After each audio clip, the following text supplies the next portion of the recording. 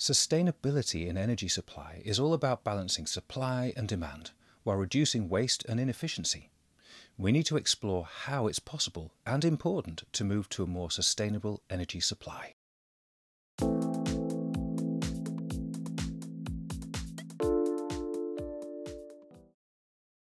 Whilst energy supply can be increased through the development of more renewable resources and the further exploitation of fossil fuels, energy conservation can help reduce the demand. By designing more energy efficient workplaces and homes, energy can be conserved and costs lowered. Increasing efficiency and reducing the use of fossil fuels overall will certainly help reduce emissions and lead to a lower carbon footprint. Within the home, there are a number of energy conservation ideas. For example, solar panels can be placed on the roof for the home to use the power from the sun and to sell any excess back to the grid. Double glazing and well-fitted windows reduce drafts and allow heat retention in the winter.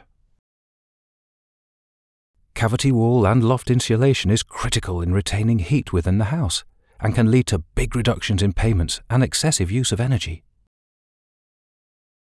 Energy efficient lighting within the house will also reduce energy consumption, and the quality of the energy efficient lighting has certainly improved over the last few years. And making sure your appliances like dishwashers, washing machines, and even TVs are as energy efficient as possible.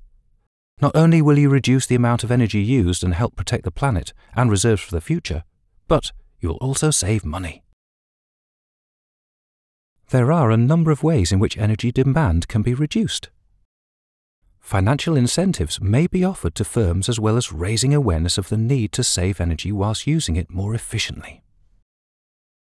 For example, the Marriott chain of hotels had an automated system that places it on an energy-saving standby setting at any time when the national grid is under stress and needs to reduce demand.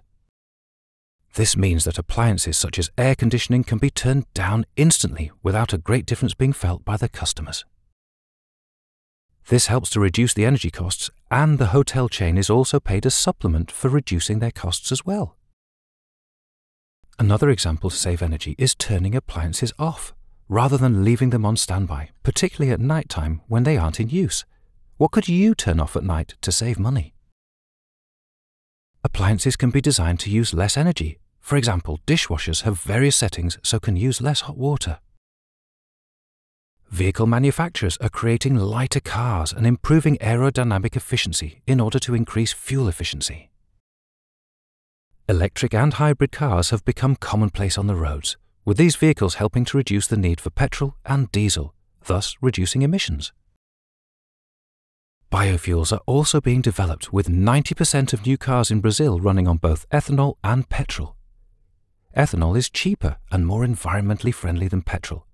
But controversially, biofuels need to be grown in fields, replacing food crops and adding to food supply issues. Malmo in Sweden is leading the way in sustainable energy developments. Their western harbour is a great example of sustainable urban development, with the houses designed to conserve and generate energy, and the transport system put in place to reduce car usage. All of the 1,000 plus buildings use 100% renewable energy, with solar tubes on the outside of the building producing hot water that's then stored in aquifers and used to heat the buildings. Wind power is used to pump the water. The roofs have photovoltaic panels with further energy being produced by a wind turbine. Local sewage and rubbish is used to produce biogas. Public transport is important, with regular buses and water taxis helping to reduce the amount of car usage.